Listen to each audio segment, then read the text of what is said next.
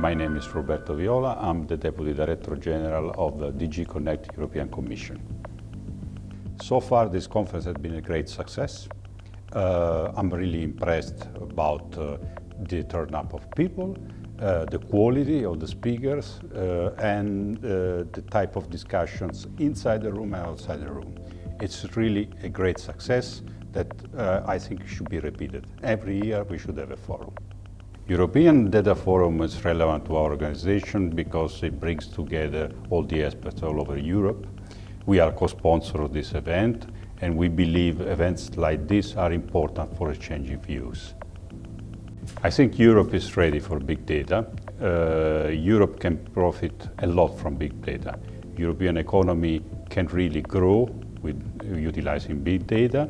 Uh, health services can improve utilizing big data you can experience a better quality of life, less traffic, uh, using big data. Big data are a tool, an enabling tool for many European policies and for creating new business in Europe.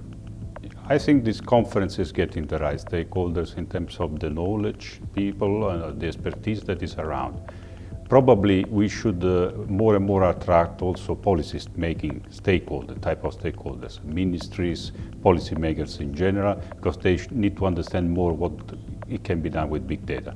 And uh, this is the dimension probably the next forum will have to a little bit expand on. I think Europe uh, has a special proposition to offer to big data. Uh, as the policy dimension, we are working a lot in the policy dimension, it has the research dimension and fostering industrial competitiveness. Uh, we actually would like to have a, a forum together, uh, getting all the stakeholders together, the European Data Forum, the European Data Ecosystem. I had a lot of fun going around uh, this conference. It's really great. Join in.